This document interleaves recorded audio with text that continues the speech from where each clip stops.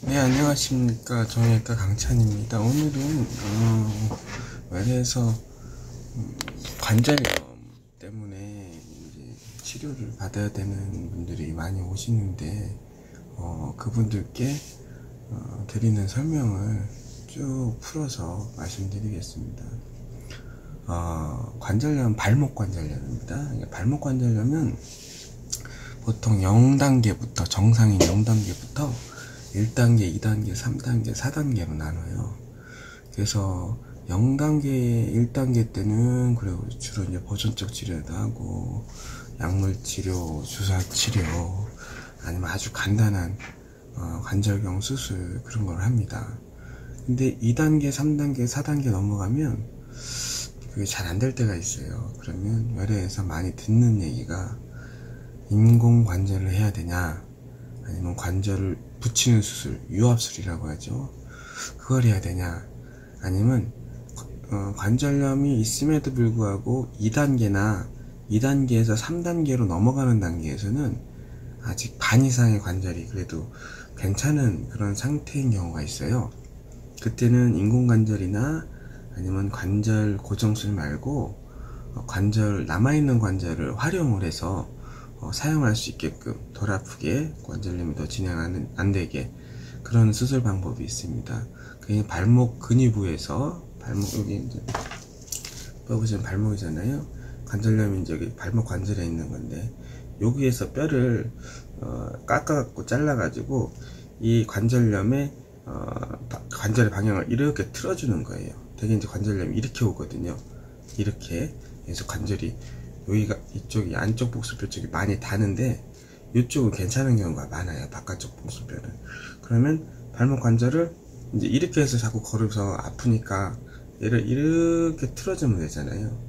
근데 이게 잘 안 돼요. 그래서 여기서 뼈를 깎아 가지고 발목 전체를 이렇게 틀어주면은 이제 이쪽에 있는 관절을 안 다른 관절 관절염이 없는 관절을 쓰게 하고 이쪽에 있는 관절은 좀 재생시키는 그런 수술이 있습니다. 크게 이렇게 세 가지로 나누는데요. 인, 어, 이, 그, 2단계, 3단계, 4단계 어, 관절염으로 진행된 경우에는 이렇게 크게 세 가지 인공관절, 관절 유압술, 그리고 절골술 및 내고정술 이렇게 세 개로 나눕니다. 그래서 그에 대한 설명을 드릴 건데요. 그 설명을 드리기 전에 우리가 이제 발목 엑스레이랑 CT를 잠깐 보시면 여기 보시면 요게 이제 정상 예 이제 서서 어, 엑스레이를 발목 엑스레이를 찍었을 때 거의 정상에 가까운 관절 사진이에요. 보시면 이게 이제 거골이라는 뼈고 이게 이제 경골이라는 뼈고 이게 이제 비골이라는 뼈입니다. 그래서 보면 이거겠네요 이거. 거골 비골 경골. 이 사이에 보면 이렇게 틈이 있죠 틈 여기 틈이 있습니다. 여기는 엑스레이는 지금 안 보이잖아요. 이 안 보이는 건 왜냐면 뼈나 뼈는 엑스레이를 찍으면 이렇게 뼈 형태가 그대로 보여요. 그런데 근육이나 지방이나 피부나 연골은 잘 안 보여요. 투명하게 투과가 됩니다. 그래서 여기는 사실은 연골이 있는 부위예요. 그래서 이거를 확대해서 보시면 쭉 보시면 이 간격의 반 요만큼 아래는 이 거골뼈의 연골이고 이 반의 간격의 반의 위는 이 경골뼈의 연골이에요.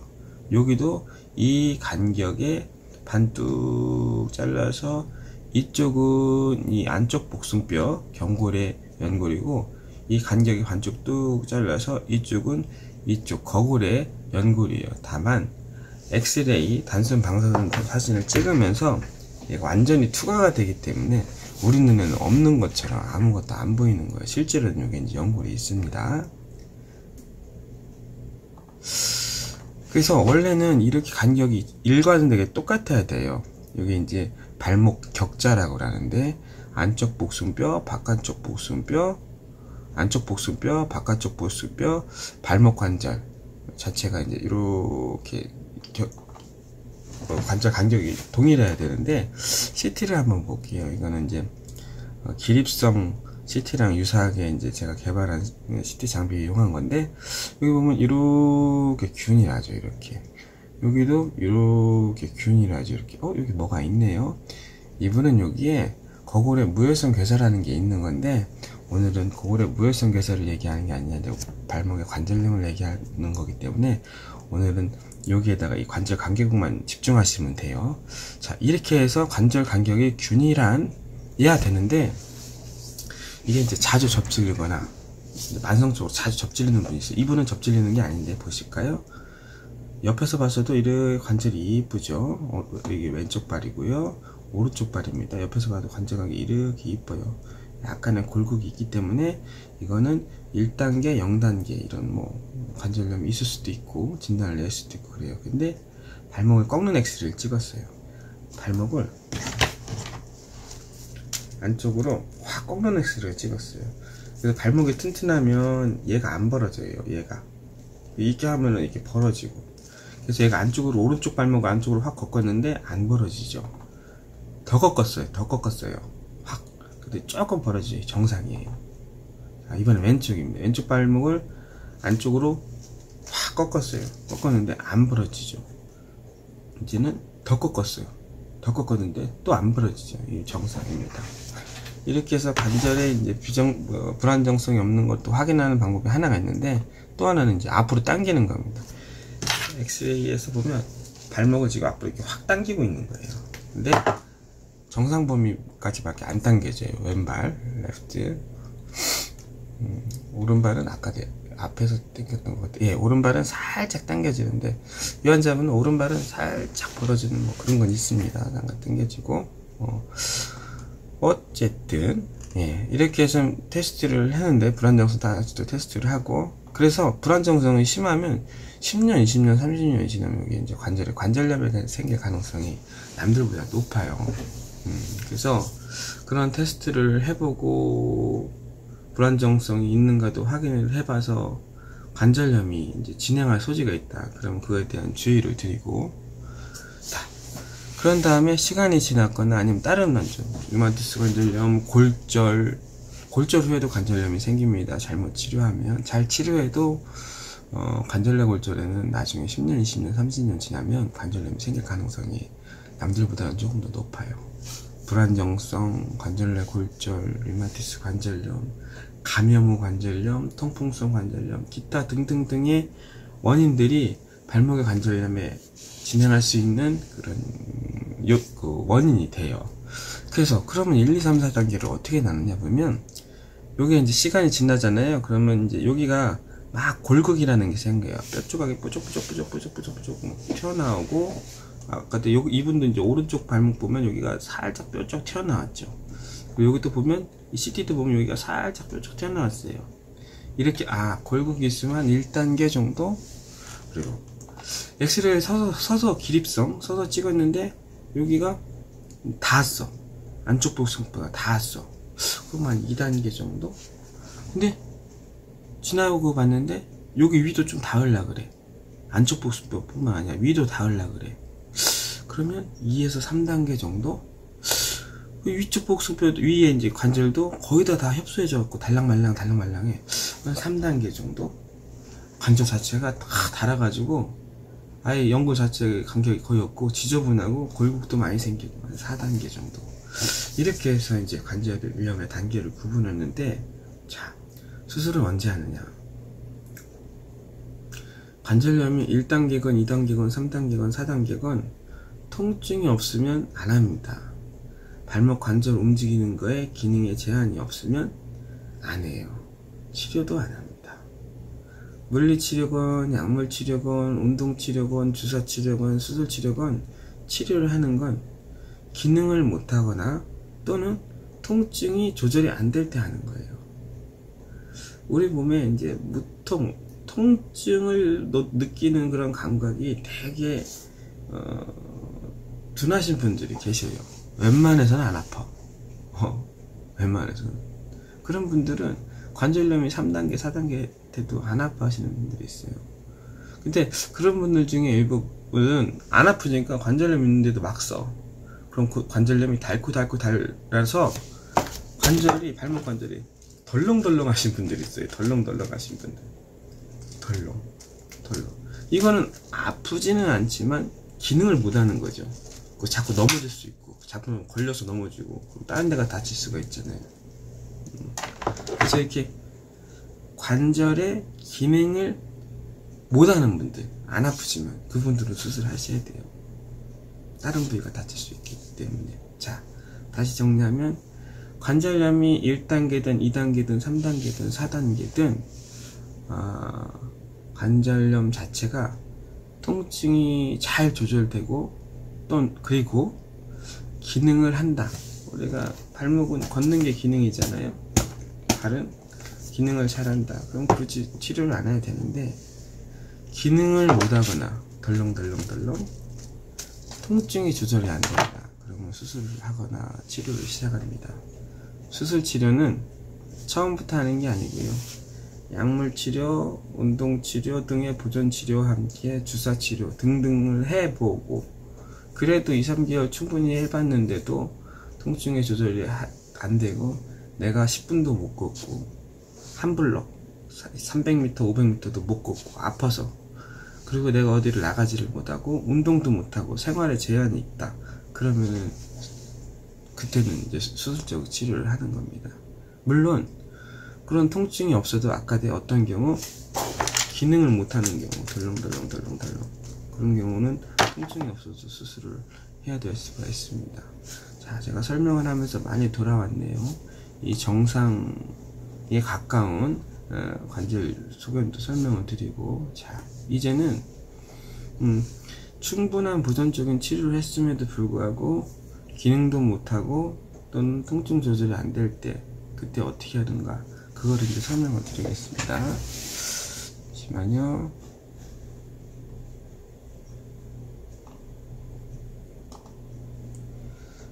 음...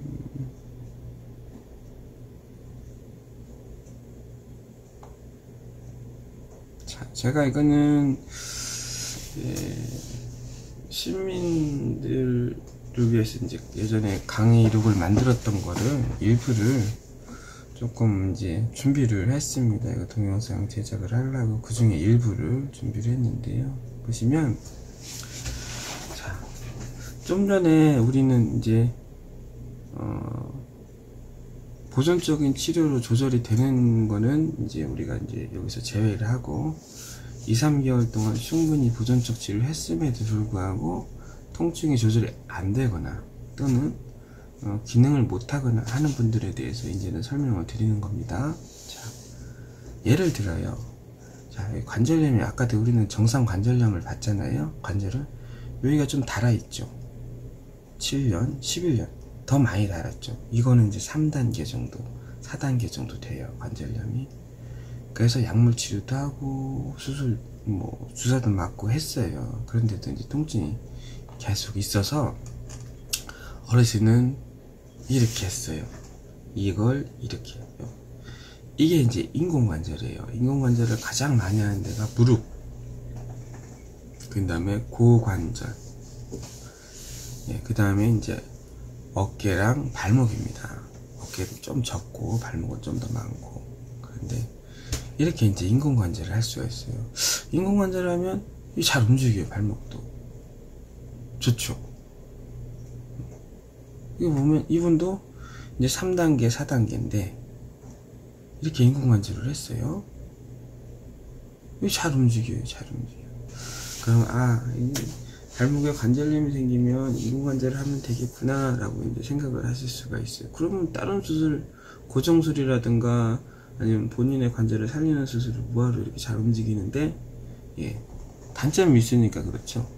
인공관절의 수명은 제대로 됐을 때 일반적인 활동, 스포츠 생활 뭐 그런 걸 하는 게 아니라 일반적인 활동을 하면서 관절 수술이 잘 됐을 때 10년 생각하시면 돼요. 10년 더하기 빼기 2년.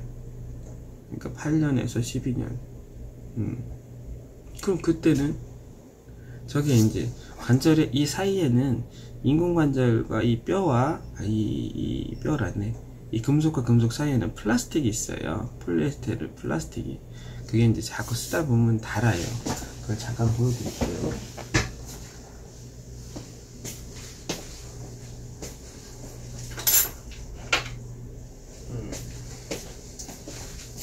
이건 다른 모델인데요. 다른 모델인데 요게 요게 딱 껴지고 모델이 다른 거예요. 그리고 요게 요게 딱 껴져요. 이렇게 이렇게 그리고 그 사이에 이런 플라스틱이 들어가요. 플라스틱.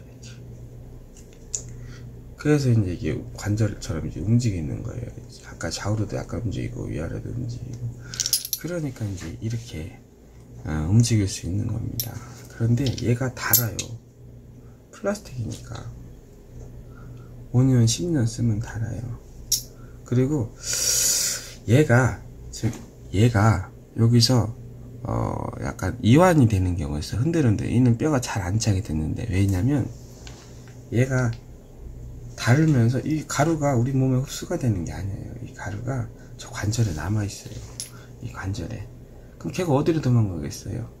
이 금속과 뼈 사이에 살살살 조금씩 조금씩 침착이 돼요. 뭐 몸에 해를 끼치는 건 아닌데 그럼 그 저게 이제 오래 지나면 뼈와 금속 사이에서 이제 틈을 만들어요.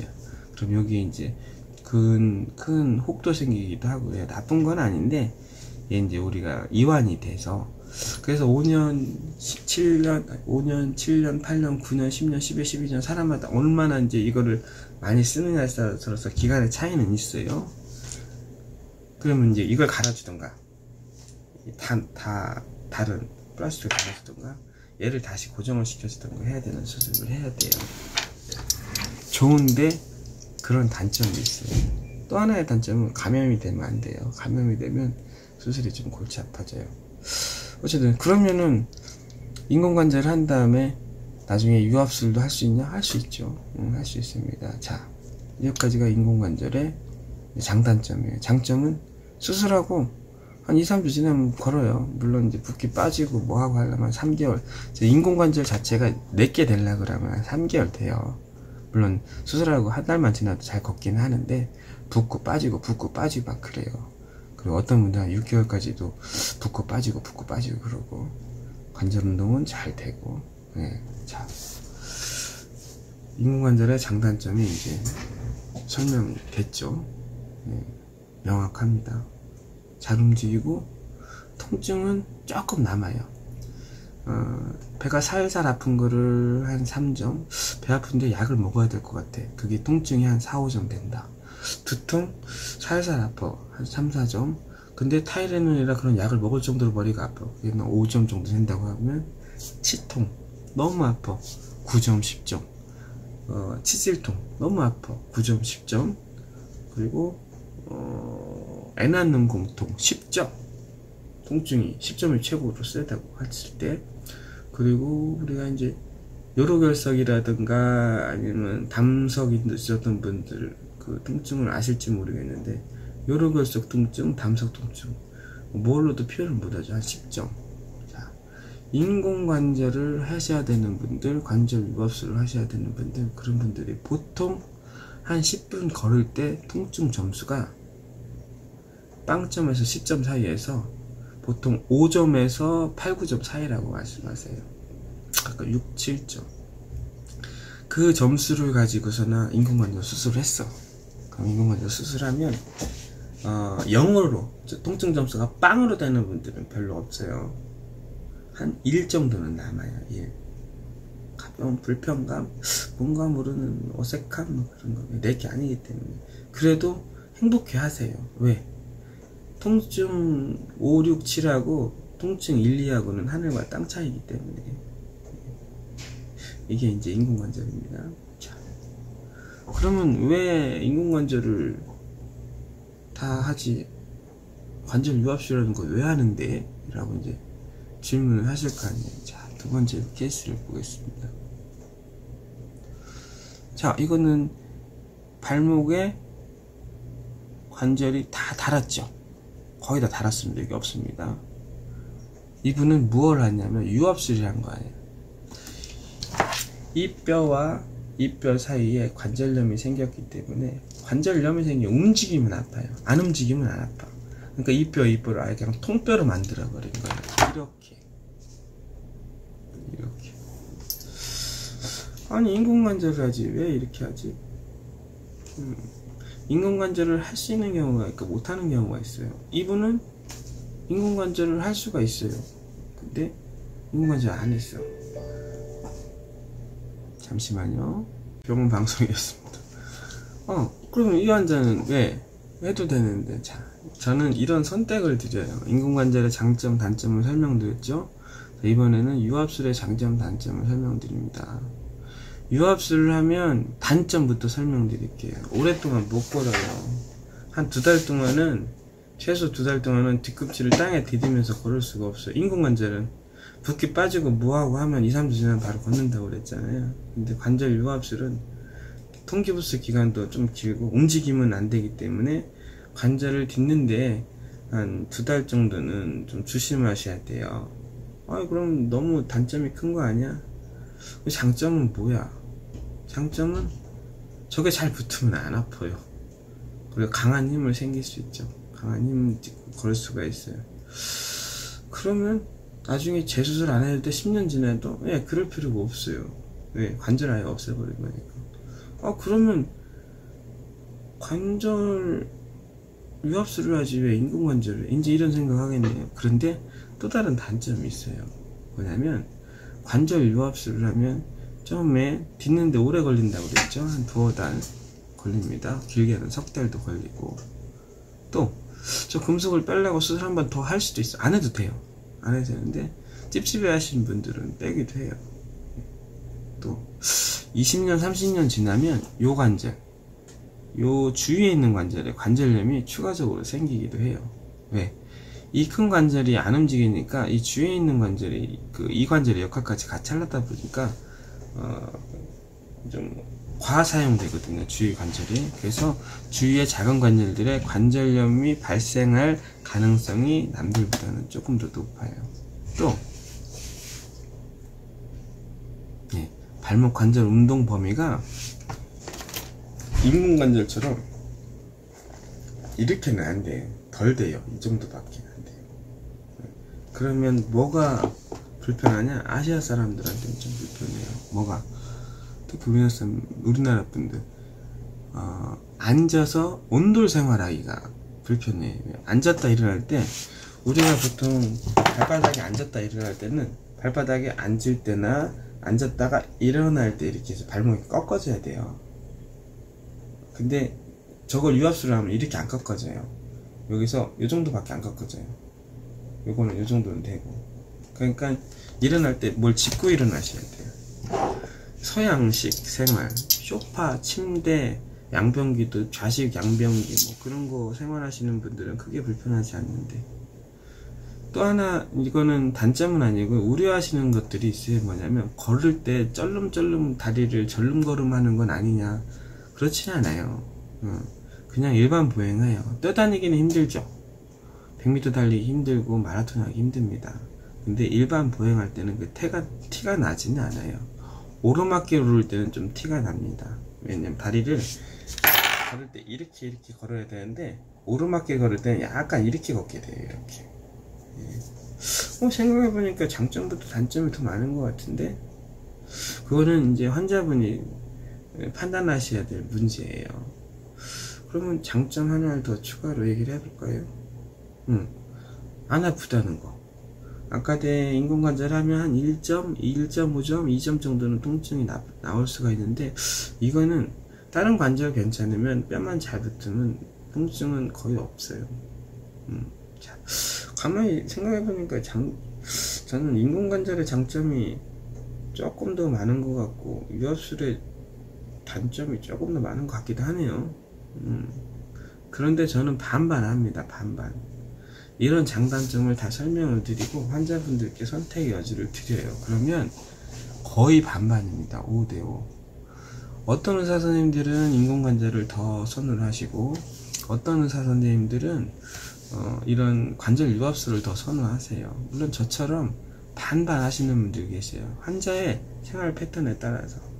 과수원에서 일하시는 분이랑 밭에서 일하시는 분이랑 학교에서 생활 학교 교, 교사이신 분들이랑 어 그리고 회사에서 그냥 사무직으로 있으신 분들이랑 또 공장에서 어, 생산직으로 있으신 분들이 다 틀립니다. 생활 패턴이 오래 서서 오래 걷는 분하고 오래 앉아서 일하시는 분들하고는 같을 수가 없어요. 그래서 이거를 설명을 드리면 본인이 어떤 거에 맞는지는 어, 고민을 하셔서 선택을 하십니다. 또 방송이 나오네요. 잠시만요. 예. 아우 방송이 까먹었네. 무슨 무슨 얘기를 했지. 어.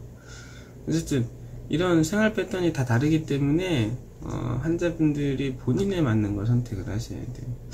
그러면 어떤 분들은 그러세요. 인공관절 했다가 나중에 유압술로 바꿀 수 있냐? 통증이나 뭐 그런 거 있을 때 할 수 있습니다. 유압술을 했다가 인공관절로 바꿀 수 있냐? 유압술을 어떤 종류를 했냐에 따라서 할 수도 있고 못 할 수도 있고 그래요.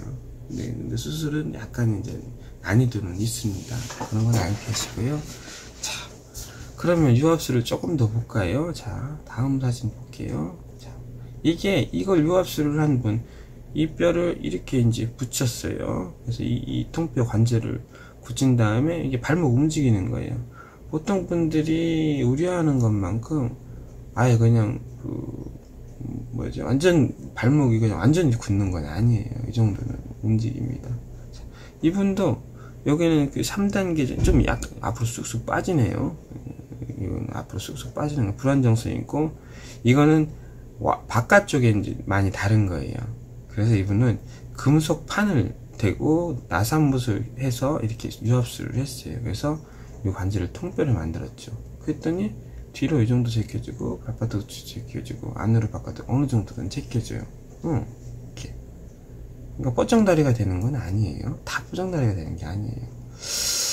그러면 이게 관절 고정술 하는 데는 뭐 어떤 방법들이 있냐 보면 이렇게 나사못을 두 개 쓰는 분, 세 개 쓰는 분 경우에 따라서 이렇게 이분 다섯 개 썼네요. 발목 이 정도 움직이고 또 어떤 경우에는 관절염 이거는 이제 2차성 관절염인데 감염이 됐었든지 어쨌든 이렇게 금속으로 되는 경우 금속하고 나사 조합하는 경우도 있고 어떤 경우는 이렇게 어디 외부 병원에서 수술을 실패했는데요. 그러면 하기가 할 게 별로 없어요. 이제 금속판을 한 두 개 정도 이용해서 하는 경우도 있고 그래요.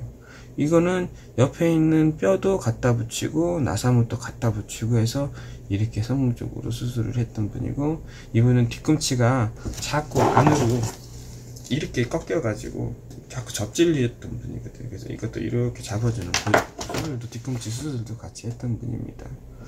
자, 요, 여기까지가 이제 발목 관절 고정술이에요. 자, 유압술과 고정술을 설명을 했어요. 근데 드물게 어, 또 다른 수술 방법, 제 3의 수술 방법이 하나 있다 그랬죠. 발목에 위를 절골술에서 방향을 틀어주는 수술을 한다고 했잖아요. 자, 이 환자분 한번 볼까요? 환자분인데 어렸을 때 다쳤어요. 이분은 이쪽은 평평하게 수평하게 발목 관절 유지했는데 이분은 여기가 성장판이 덜 자라서 발목 여기는 성장이 잘 되고 여기는 성장판이 손상을 받아서 발목이 꺾였어요 이렇게 이분은 이제 시간이 지나고 5년 10년 더 지나면 여기에 발목 관절염이 이제 심하게 생겨서 통증이 가능, 생길 가능성이 높아요 지금도 아파하시고 그래서 이분은 이, 이 여기를 부러뜨려서 벌리고 여기를 부러뜨려서 좁혀서 이 발목을 이렇게 만든 거예요. 그러니까 여기에 이렇게 접, 접질려 있던 것을 이렇게 한 거죠. 즉, 이 환자분은 이쪽 안쪽 복숭뼈 쪽에 어, 관절이 계속 닳고 아프고 자극이 됐던 분인데 이거를 펴서 이 관절을 함께 사용할 수 있게 만든 거예요. 그럼 이제 안 아프죠. 여기 관절염도 안, 안 생기고. 현재의 증상을 호전시킨과 함께 미래에 생길 수 있는 관절염 진행을 예방한 거죠. 그럼 이거 다 이런 수술 할 수 있냐? 아니에요. 이 수술은 1단계, 2단계만 적용이 돼요. 가끔 3단계 초기, 즉 1단계와 2단계 사이. 어떤 분들은 3단계에 해도 어, 결과가 좋다는 분들도 계신데 환자의 발목 가지고 저는 어, 모험을 하고 싶지는 않아요. 그래서 1단계, 2단계, 3단계 A, 즉 3단계 초기 또는 2단계 중에서 3단계 넘어가는 그 사이까지는 적용이 하는데 어, 3단계 중후반이라든가 4단계에는 저는 하지는 않습니다. 어째 이런 방법도 있어요. 또 한 번 볼까요? 이분은 비골 쪽에 골절이 그 성장이 덜 되고 이 경골 쪽에 성장이 나면서 거꾸로 됐어요. 그러니까 얘는 안짱다리가 됐, 됐잖아요. 이분은 이분은 바깥쪽으로 발목이 이제 바깥쪽으로 이렇게 틀어진 거예요. 아까도 좀 전에 이분은 발목이 안쪽으로 이렇게 틀어져 있었던 반면에 이분은 발목이 바깥쪽으로 거예요. 이렇게 바깥쪽으로. 그리고 나중에 요게 이제 관절염이 생겨요. 여기에 어리 아직 젊잖아요. 근데 나중에 어- 괜찮을까 고민되고 지금도 아프고 그러니까 수술을 한 거예요. 어떻게 했냐면 이 안쪽을 요, 여기를 안쪽을 줄이고 그래서 이렇게 수평하게 만들어주고 여기도 안쪽을 여기를 줄이고 여기를 넣고서 이렇게 수평하게 만들어주는 거예요. 이렇게. 그래서 보면 이렇게 이렇게 이렇게 삐딱했던 걸 이렇게 수평하게 만들어주는 거죠. 이런 수술을 하는 겁니다. 자, 쭉 보시면 이런 관절염에서 이런 인공관절을 해서 관절 운동을 잘 하게끔 하는 수술 방법이 있고 이런 관절을 이런 관절을 이렇게 유압수를 해서 반목 운동 범위는 좀 적지만 이렇게 통증 없이 생활할 수 있게 하는 방법이 있고 관절염 진행 1단계, 2단계 또는 2단계 중반, 3단계 아주 초반에서 이렇게 수술을 해서 이렇게 수평하게 만들어서 통증과 어, 관절염의 진행을 줄이는 그런 방법이 있다고 다시 말씀드렸습니다. 자,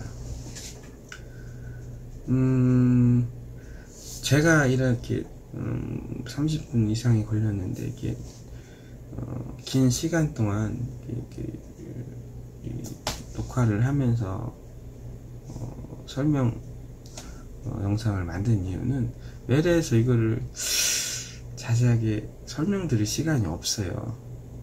음, 그렇다고 이제 책으로 책자로 보기에도 환자분들께 이해시키기가 좀 어, 나- 어려운 부분도 있고 그래서 예를 진료 보기 전에 기다리시든지 아니면 고민을 하실 어떤 수술을 할까 고민을 하셔서 다음에 결정하시기 전에 집에서 이렇게 보시고 참고하시라고 어, 영상을 만들었습니다. 시간이 좀 길긴 하지만 앞으로 치료 방향을 환자분들께서 결정하시는데 아 나는 어떤 상태고 생활 패턴이 어떠고 관절염의 시- 단계가 어떠니까 아 나는 앞으로 한동안은 보존적 치료나 주사 치료를 해야겠구나 아 나는 인공관절을 해야겠구나 아 나는 관절 유압수를 해야겠구나 아 나는 관절 절골술을 해서 어, 기- 관절염의 진행을 예방하고 치료하는 것도 적응이 된다고 하니까 이런 절골술을 한번 해봐야 되겠구나 라는 것을 선택하시는데 음, 조금이라도 도움이 되실 수 있기를 바라겠습니다. 감사합니다.